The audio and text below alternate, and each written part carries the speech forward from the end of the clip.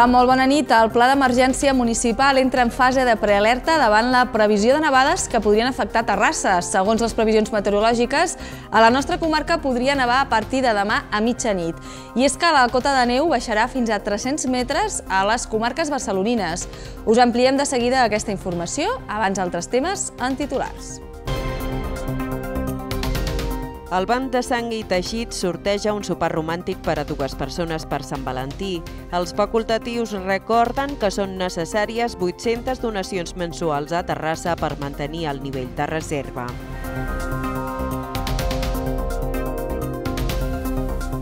Aquest dissabte la plaça Vella ha acollit la trobada pel reciclatge i la reutilització.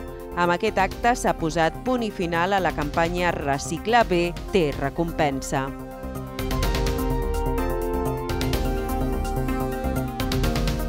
L'Arxiu Tovella ha presentat aquest divendres el seu anuari amb la portada dedicada a les ventades. Es tracta del recull d'imatges i notícies de la ciutat en els darrers 12 mesos.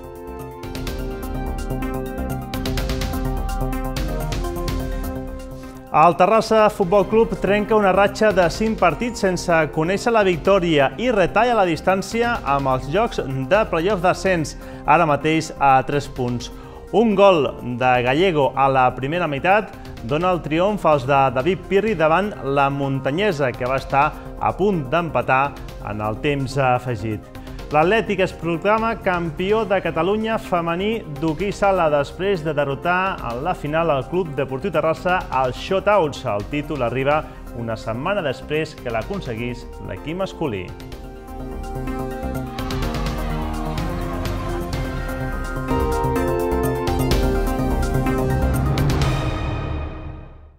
El Pla d'Emergència Municipal ha entrat en fase de prealerta davant la previsió de nevades que podrien afectar a municipis. Segons les previsions meteorològiques, a la nostra comarca, el Vallès Occidental, està previst un risc moderat de neu a partir de demà dimarts a mitjanit, fins al migdia de dimecres.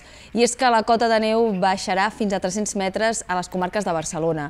Davant aquestes previsions, L'Ajuntament ha rebut des del SECAT, que l'Ajuntament ha rebut.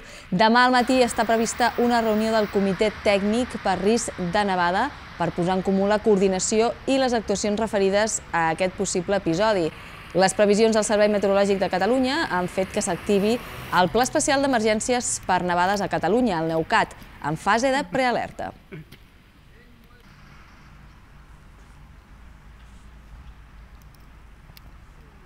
Canvien de tema, comencen les activitats del mes de la Pau 2015 a la BCT Xarxa. Exposicions, tallers, conferències i hores del conte ompliran diferents biblioteques fins al 19 de març.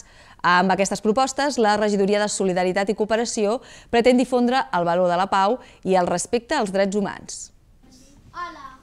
El 30 de gener se celebra el Dia Escolar de la No Violència i la Pau, coincidint amb l'aniversari de la mort de Mahatma Gandhi i així poder recordar la seva feina en favor del pacifisme. La BCT Xarxa i la Regidoria de Solidaritat i Cooperació organitzen un cicle d'activitats que tenen per objectiu difondre els valors de l'educació per la pau, la solidaritat i el respecte als drets humans. Exposicions, tallers, conferències, hores del conte, fins a 16 propostes ompliran una mica més de contingut les diferents biblioteques públiques repartides pel territori del 2 de febrer fins al 19 de març. Dues mostres seriosament 25 arguments per la pau de la Fundipau a la Biblioteca Central i els conflictes armats La Pau dibuixada de l'Escola de Cultura per la Pau a la Biblioteca del Districte 6 obren la programació aquest mateix dilluns. El banc de Sant i Teixit sorteja un sopar romàntic per Sant Valentí. Després de la Marató 2.0 arriba Sant Valentí. Es tracta d'una nova campanya per estimular les donacions. Els facultatius recorden que són necessàries 800 mensuals a Terrassa per mantenir el nivell de reserva. S'acosta el 14 de febrer i el Banc de Sang i Teixits de l'Hospital Universitari Mutu a Terrassa ho torna a celebrar. Com ja ve sent habitual, tots els ciutadans que passin per les seves dependències del 16 de gener a l'11 de febrer podran optar al sorteig d'un sopar romàntic per a dues persones al restaurant Tapinyes Tradicional. El guanyador es coneixerà el dia 11 de febrer i se li farà entrega del regal al 13. Aquesta és la segona campanya de l'any, immediatament després de la Marató 2.0. Els responsables volen mantenir els nivells de reserva i aquesta és, diuen, la manera d'incentivar la donació. Hem de pensar que a la que la marató s'acaba tornen a baixar les donacions. Encara hem tingut aquesta setmana una, una bona setmana de donacions, però ara ja es comença a notar que baixa. Llavors aquestes reserves que teníem s'han de mantenir d'alguna manera i per això immediatament s'ha de fer ja la següent campanya. La facultativa recorda que Catalunya necessita unes 1.000 donacions diàries per cobrir les necessitats de sang cada cop superiors. Per les instal·lacions de Terrassa haurien de passar uns 800 donants al mes per assolir les expectatives. Són especialment necessaris els grups negatius. La Biblioteca del Districte 6 de la Rambla Francesc Macià ha acollit aquest dissabte a la tarda una conferència relacionada amb solidaritat i cooperació internacional. L'encarregat de pronunciar la xerrada ha estat Massimo Cari, director del projecte humanitari Centro Educativo y Recreativo Nona María y Tina de Ticti Norte, municipio de Cercado, Cochabamba, a Bolívia. L'acte ha estat organitzat pel grup de solidaritat Òscar Romero de la parròquia de Sant Llorenç i ha comptat amb la presència de la regidora de Solidaritat i Cooperació Internacional, Teresa Casals. L'objectiu del grup de solidaritat Òscar Romero de la parròquia de Sant Llorenç és el d'oferir suport escolar i promoure activitats esportives recreatives per a infants i joves. L'acte ha comptat amb la col·laboració de Terrassa Solidària i del Servei de Solidaritat i Cooperació Internacional.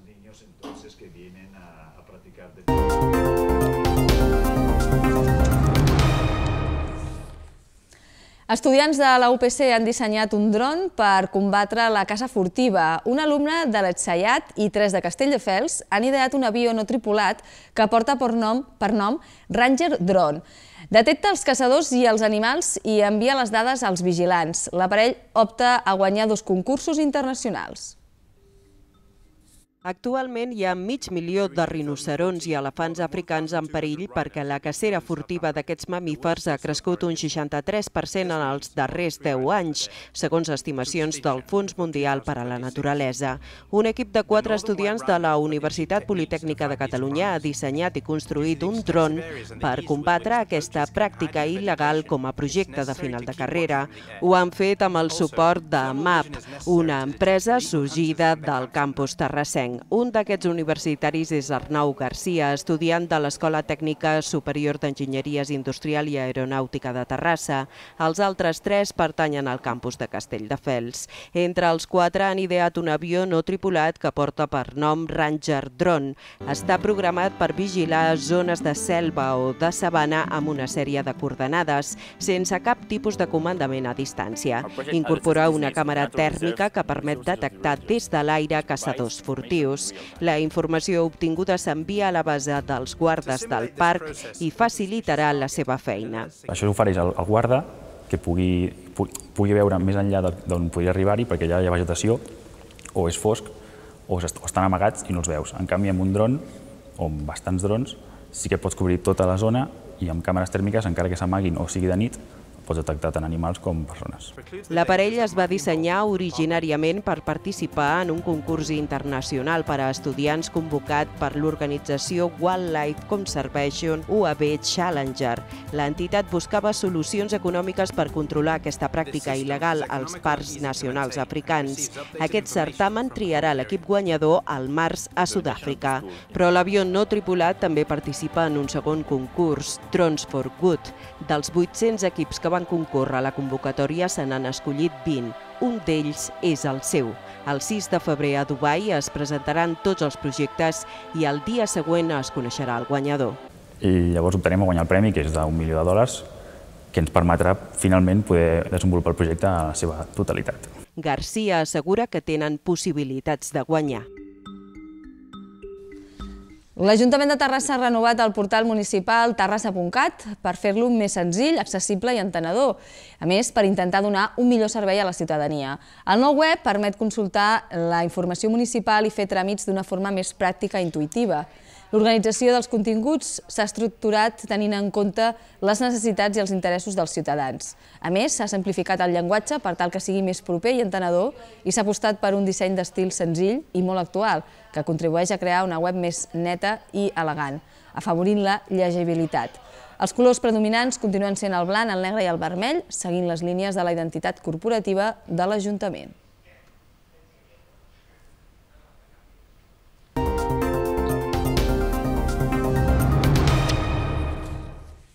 La trobada pel reciclatge ha tancat la campanya per reduir els residus. La campanya es va iniciar el passat 1 d'octubre amb la intenció d'aconseguir la reducció dels residus, millorar la separació a partir d'un canvi d'hàbits en el consum i incrementar les pràctiques de reutilització d'aquests residus. Aquest dissabte s'ha celebrat l'acte de cluenda de la campanya Recicla bé té recompensa a la plaça Vella amb la trobada pel reciclatge i la reutilització. Gaudim, eduquem i reflexionem. La iniciativa ha informat de forma participativa amb jocs i tallers sobre el consum responsable o la prevenció. La campanya es va iniciar el passat 1 d'octubre amb la intenció d'aconseguir la reducció de residus, millorar la separació a partir d'un canvi d'hàbits en el consum i incrementar les pràctiques de reutilització dels residus. Es muy importante la, la, actuación y las acciones que están haciendo y la gente cada vez vamos aumentando el índice de, separación de, residuos y los mismos niños ya eh, están haciendo como unos ejemplos donde tienen que poder depositar los residuos y la verdad lo considero muy importante y esperemos esto hacerlo con una cierta frecuencia durante el 2015 con el fin de que los más pequeños, que son el futuro de nuestra ciudad, se vayan familiarizando con este tipo de actividades. Queda molt camí per fer i el que pretén la campanya és situar aquesta reflexió col·lectiva a la ciutat de que hem de continuar i hem de millorar eh, respecte a la recollida selectiva a la nostra llar. És una necessitat, no tenim un altre que fer-ho per motius econòmics, per motius mediambientals, per motius socials, i aquest era l'objectiu que situava la campanya. Durant el mes de gener també s'ha dut a terme la campanya Aportar les deixalleries té recompensa, amb l'objectiu de donar a conèixer el servei de deixalleries municipals i informar la ciutadania de les bonificacions ambientals per fer-ne aportacions. El Mercat de les Pusses ha tornat al Parc de Sant Jordi, com ho fa de forma habitual l'últim dissabte de cada mes. L'edició d'aquest dissabte ha anat acompanyada de diferents activitats culturals i lúdiques. Després de començar l'any nou, torna com cada últim dissabte de mes al Mercat de les Pusses. El Parc de Sant Jordi collirà durant tot l'any, excepte agost i desembre, el mercat amb comerços, articles de segona mà i artesania. L'edició d'aquest dissabte ha anat acompanyada de diferents activitats culturals i lúdiques. Els més petits han pogut gaudir d'una zona d'inflables i al migdia ha tingut lloc una cercavila encapçalada pel drac Baluc de Canaurell. Com ja sol ser habitual, també s'han fet visites guiades i gratuïtes a la Masia Freixa. L'objectiu d'això realment és que hi hagi gent al barri. Què fem? Els comerços associats a la nostra associació poden sortir i tenen un altre punt de, de, un altre punt de venda. I què fem també? Donar altra opció a gent del barri d'altre territori que també pugui vendre coses de segona mà o artesania. I el que fem és trobar un punt en comú, un dia al barri i una festa al barri perquè tot el barri pugui disfrutar d'un espai meravellós que tenim al barri a nivell comercial, els comerciants que s'atreveixen a sortir, que no són tots, ens agradaria que fossin tots, però els que arriben a sortir, surten i venen. Però per altra banda també aconseguim que els que no volen sortir tinguin gent al barri.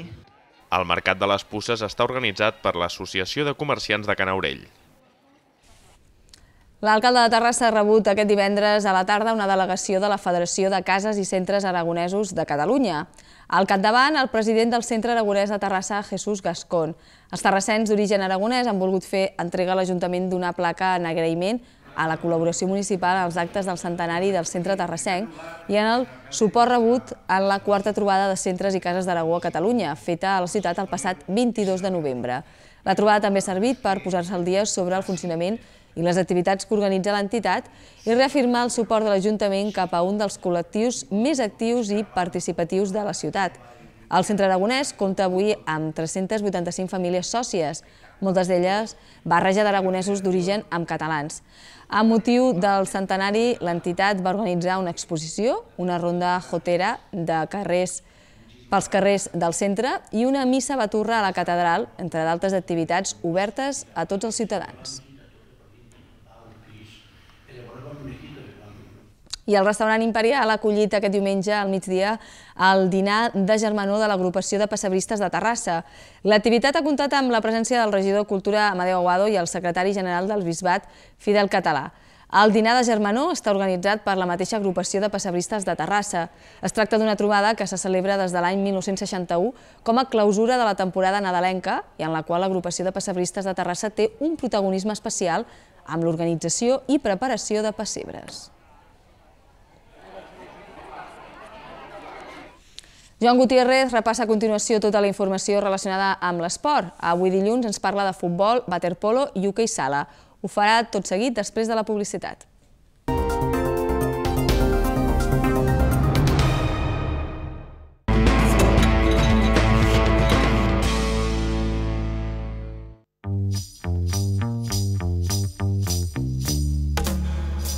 Maxon és modernitat. Maxon és classe. Maxon és elegància. Maxon és el teu estil. Maxon, sigues tu mateix.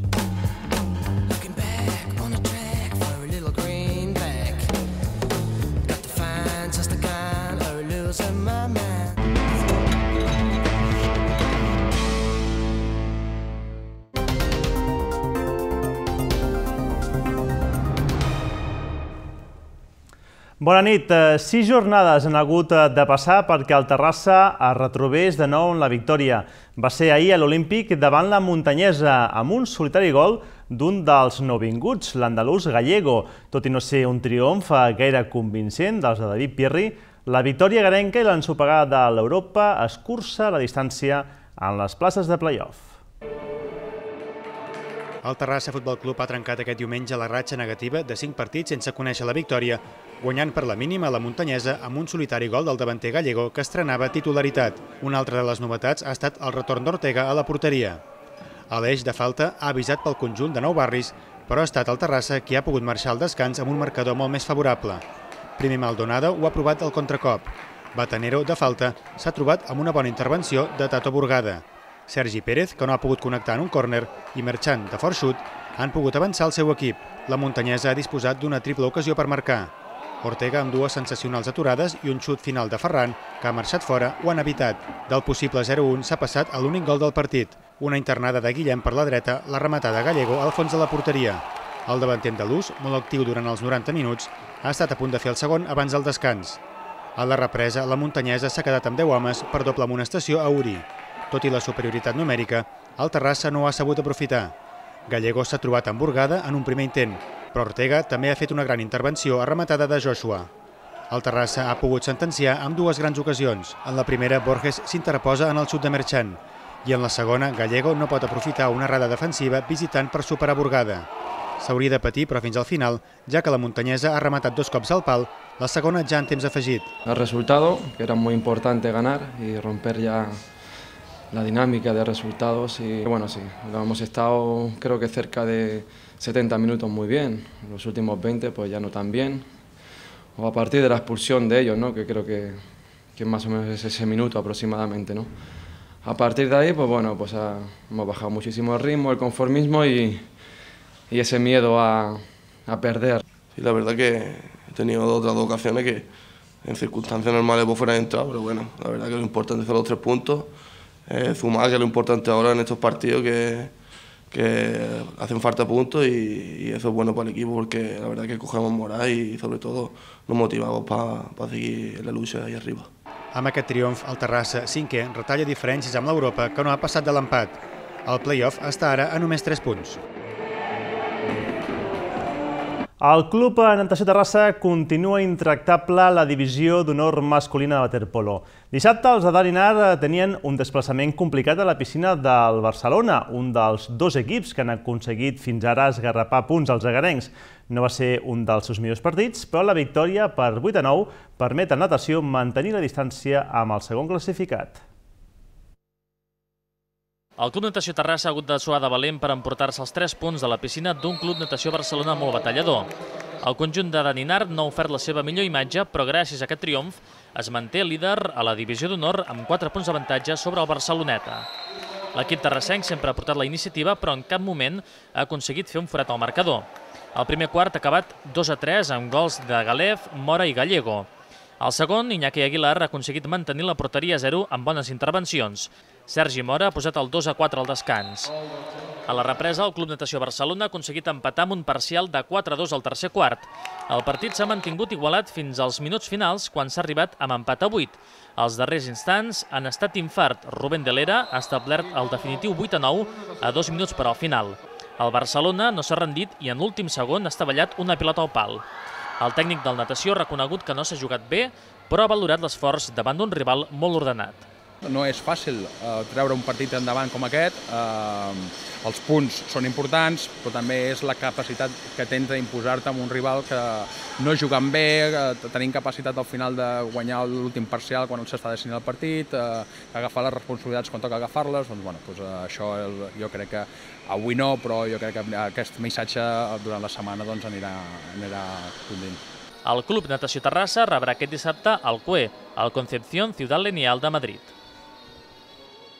I l'equip femení del Club Natació Terrassa arriba en plena forma a la Copa de la Reina, que comença divendres a Barcelona. El conjunt de Xavi Pérez va sumar la segona victòria consecutiva en un exigent partit contra el Rubí.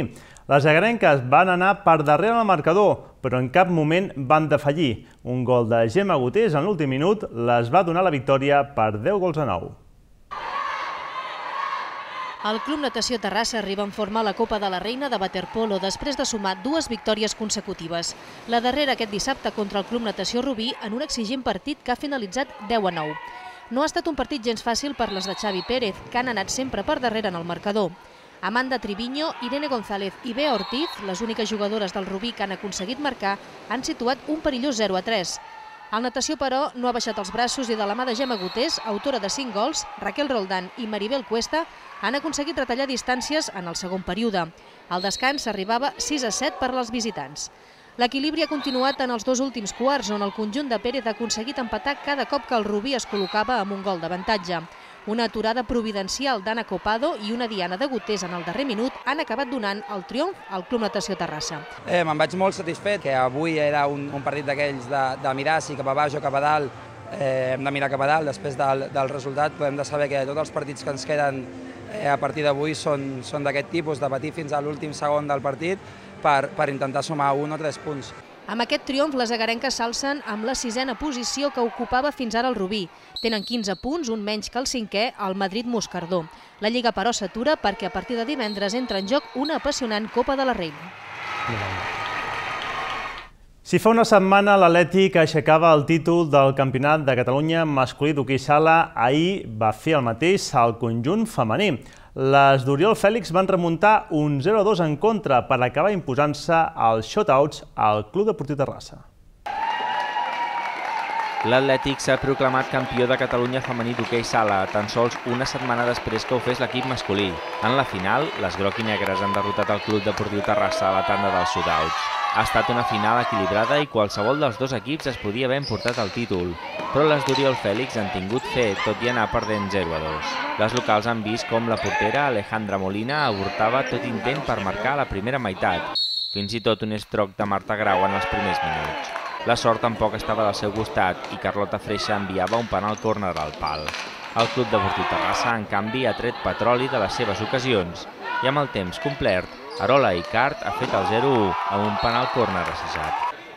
El conjunt de Ferran Díaz s'ha posat amb dos gols d'avantatge quan Marca Bosquer ha aconseguit el 0-2, també de penal, als 4 minuts de la represa. L'Atlètic s'ha volcat a la porteria de Molina, però no podia amb la portera del Club Deportiu Terrassa, que ha fet grans aturades. La recompensa per a les de ha arribat a 5 minuts per al final, quan Cris Escuder ha retallat distàncies. Les de les Pedritges han defensat el resultat que li donava el títol, però en els darrers segons l'Atlètic, jugant sense portera, ha fet l'empat mitjançant Carlota Freixa. El campionat s'ha decidit als shootouts. Marta Bosque ha posat per davant el Club Deportiu Terrassa, però Cris Escuder ha igualat. En la segona tanda, Arola i Cart ha fallat per a les vermelles. En canvi, Marta Grau ha fet el 2 a 1. Sílvia Gavarró estava obligada a marcar per forçar una nova tanda, però no ha pogut superar Txell Grau.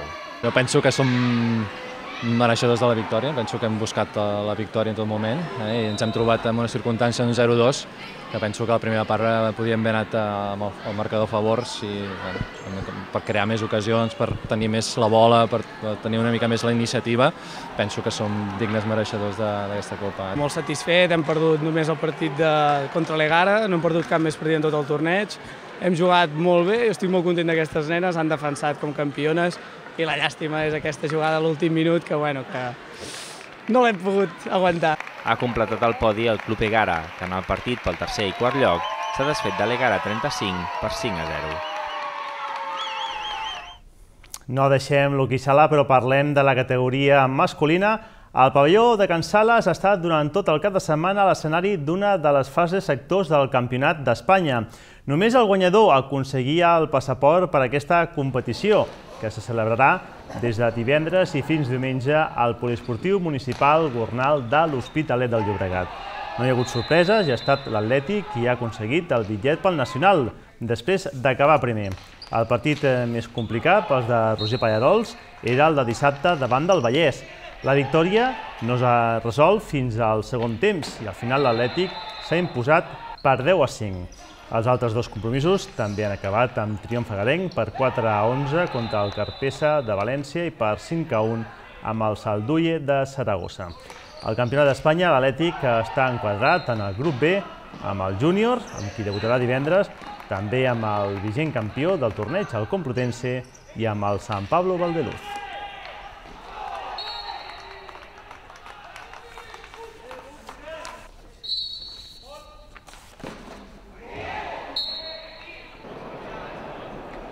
I l'hoquei sala també va ser protagonista amb el Campionat d'Espanya juvenil i els títols, tant en categoria masculina com en femenina, han anat a parar equips de la nostra ciutat. El Club Agara, que organitzava el torneig a les seves instal·lacions, s'ha proclamat campió d'Espanya en l'apartat masculí. Els ratllats s'han superat en la final al Club de Campo. Al final del partit s'ha arribat amb empat a 4 i la Gara s'ha endut el títol als shotouts. El bronze ha correspost a l'Atlètic. La distinció al millor jugador del torneig ha estat per a Pol Gispert. En categoria femenina, el títol ha estat pel Club de Rassa en el campionat disputat a Santander. El conjunt de les Pedritxes ha derrotat l'Atlètic en la final per 2 a 1. Aquest cop el podi ha estat íntegrament terrassenc perquè la Gara ha finalitzat tercer. Carla López Llauder del Club Agara ha estat escollida millor jugadora del campionat. Una àmplia informació d'hoquei sala i el més important, Laura, que els títols o s'han quedat o han viatjat cap a Terrassa i això és l'important que hi ha molts equips que treballen molt l'hoquei sala quan s'atura l'herba, aprofiten i preparen molt bé aquesta modalitat i, els I resultats... I es veuen els resultats. Es veuen els resultats, i tant. Demà més. Demà més. Vinga. Que vagi Adéu, molt bé. Bona nit. Adéu, Joan. La terrassenca Mercè Paloma ha guanyat un Premi Gaudí al millor vestuari per Estela Cadente. Aquest és el segon Gaudí per a la dissenyadora, que ja va veure reconegut el seu treball en aquesta cerimònia per Pa Negre fa 4 anys. L'estilista també va ser finalista al 1999 per la pel·lícula d'Isabel Cuixet, A los que aman. La terrassenca Mercè Paloma ha guanyat un Premi Gaudí al millor vestuari per la pel·lícula de Lluís Minyarro Estela Cadente a la setena gala dels Guardons del cinema català celebrada aquest diumenge. Únic reconeixement, tot i les 13 nominacions amb què comptava per aquesta mirada al·lucinatòria dins el món d'Amadeu de Savoia. Aquest és el segon Gaudí per la dissenyadora, que ja va veure reconegut el seu treball en aquesta cerimònia per Pa Negre fa 4 anys. L'estilista també va ser finalista el 1999 per la pel·lícula d'Isabel Coixet, A los que aman. La trajectòria professional de Mercè Paloma, però, està plena de reconeixements, no només en l'àmbit del cinema, sinó sobretot en el del teatre. A més, la terrassenca està d'enhorabona perquè el proper diumenge també podria guanyar un Goya al millor disseny de vestuari per la mateixa producció. Pel que fa a Rec 4, Apocalipsis, rodada en bona part al Parc Audiovisual de de Catalunya i que comptava amb nou nominacions, ha aconseguit dos Premis Gaudí, els millors efectes especials i també millor maquillatge i perruqueria. I sobre Descal sobre la Terra Vermella, rodada al Mas Viver de Torre Bonica, ha obtingut el guardó a millor pel·lícula per televisió. Per cert que l'alcalde de Terrassa, Jordi Ballart, ha felicitat mitjançant un comunicat els guardonats als Premis Gaudí vinculats a Terrassa i ha destacat que un cop més la ciutat hagi tingut presència en aquesta gala. Canal Terrassa va ser una de les televisions locals que van emetre aquest diumenge el lliurament dels Premis del Cinema Català i just abans el programa especial produït per la xarxa La nit dels Gaudí, en directe des del Sant Jordi Club. La gran triomfadora dels Gaudí d'aquest 2015 ha estat 10.000 quilòmetres. Rastres de Sanda l'ha aconseguit el premi com a millor pel·lícula i El Niño ha estat la producció amb més guardons. Quatre premis per L'Arxiu Tovella ha presentat el seu anuari Terrassa 2014. Les ventades de desembre passat són les grans protagonistes de la portada. El document recull imatges i notícies de la ciutat, dels fets i les activitats més importants que han passat a Terrassa en els darrers 12 mesos. Els efectes de la forta ventada del passat 9 de desembre protagonitzen la portada de l'anuari de l'Arxiu Tovella, Terrassa 2014. Aquest divendres, com és habitual, l'últim del mes de gener, s'ha presentat a la seu de la placeta Saragossa el principal recull d'imatges i notícies de la ciutat, dels fets i les activitats més importants que han passat a Terrassa en els darrers 12 mesos. En total, més de 400 fotografies fetes per Montse Saludes i més de 2.000 notícies que per segon any ha recopilat la periodista de la ràdio municipal, Mariona Tomàs. Aquest any, anuari 2014, sí que és veritat que no és que hàgim tingut més feina en comparació d'altres anys, però sí que s'ha vist un reflotar de la ciutat en quant a activitats. Actes que s'han fet per primera vegada i que esperem que es consolidin, actes que ja s'han consolidat i que per tant ha estat la segona, tercera, quarta i cinquena edició, i llavors hi ha entitats que ja com a consolidades han celebrat doncs, grans esdeveniments que d'efemèrides seves. Per tant, la ciutat continua creixent, continua obrint-se a la pròpia ciutat amb moltes, amb moltes activitats. La gent se recordarà d'aquest any per, per veure eh, caure arbres al voltant seu i anar sentint com, com els hi queien eh, bueno, i com sortien les coses volant. Jo crec que ha sigut un impacte molt bèstia a la ciutat perquè no, no hi estàvem acostumats, no ho havíem tingut mai, com a mínim la nostra generació no ho havíem vist, cap catàstrofe d'aquestes, i de fet la portada no era aquesta inicialment, però es va decidir que evidentment a Terrassa aquest any el que havia passat era això. El president de l'Institut Industrial, Josep Armengol, ha estat l'encarregat de realitzar el pròleg d'aquesta edició, amb motiu dels 140 anys de l'entitat. El llibre número 37 de la sèrie torna a ser un testimoni escrit i gràfic dels principals esdeveniments i activitats d'un any a Terrassa. Una memòria viva fixada per sempre, un retrat viu del que passa a la ciutat o la nostra història condensada i preservada són algunes de les definicions que s'han pogut sentir en la presentació de l'anuari. L'acte també ha comptat amb una xerrada de l'historiador Esteve Canyameres, que ha despertat l'interès per la història dels masos i de les masies catalanes i les seves genealogies. Més de 200 cavalls desfilaven aquest diumenge per Terrassa en la Festa dels Tres Toms. Aquesta tradició centenària vol recordar la dependència que antigament es tenia dels animals de càrrega, ja que feien possible el transport de mercaderies. Aquest diumenge al matí ha tingut lloc la tradicional Festa dels Tres Toms. Per celebrar el dia de Sant Antoni Bat, patró dels animals, uns 200 cavalls i una quarantena de carruatges han desfilat pels carrers de Terrassa. A les 11.30 els participants han iniciat el seu recorregut des dels dipòsits d'aigua de Can Boada, prenent l'avinguda de Can Boada a la Ronda de Ponent i l'avinguda Josep Terradelles per arribar finalment a la Rambla. Durant tot el recorregut s'han llançat carmels als assistents a la desfilada. És una tradició més que centenària i es tracta de conservar-la, mantindre-la i motivar la canalla perquè la continuï. La gent que ve és de tota la comarca perquè molts estem agermanats amb altres pobles que fem intercanvis i molts doncs, bueno, venen de Castellà, de Sant Vicenç de Castellet, de Sant Joan de Vilatorrada, venen de Sabadell, venen de Rubí, venen de Cerdanyola, de, de, de tot l'entorn. És important perquè d'alguna manera el calendari festiu de, de la ciutat, que també és, va molt lligat al calendari festiu del país, en aquest sentit els trastoms tenen una presència arreu del país durant el mes de febrer, no? des de la setmana dels barbuts, que en diem, Sant Antoni Abat. És aquesta tradició doncs, que remunta ja a temps enrere per Sant Antoni no? i que durant el mes de febrer, en correspondència amb les altres entitats, fan possible que diferents ciutats puguin gaudir d'aquests tres toms, que a Terrassa en són dos, donant dos voltes a la Rambla, però que l'origen dels tres es manté en aquesta tradició. Els cavalls i carruatges han fet dues voltes a la Rambla fins a acabar el centre cultural. Aquesta tradició centenària vol recordar la dependència que antigament es tenia dels animals de càrrega, ja que feien possible el transport de mercaderies. Una trobada d'arpistes ha reunit prop d'un centenar de participants a l'Auditori Municipal. Ha servit per poder veure una formació musical poc habitual, com és un conjunt d'arpes. S'han fet dos grups d'una quarantena d'arpistes cadascun que han interpretat el mateix repertori. Terrassa ha tornat a acollir una trobada d'arpistes de Catalunya. A l'Auditori Municipal s'hi ha plegat gairebé un centenar de participants entre estudiants i professors d'aquest instrument. La trobada ha servit per poder veure una formació musical poc habitual, com és un gran conjunt d'arpes. En concret, s'han fet dos grups d'una quarantena d'arpistes cadascun, que han interpretat el mateix repertori. El concert s'ha basat en música de cinema i ha inclòs dues peces arranjades especialment per a l'ocasió.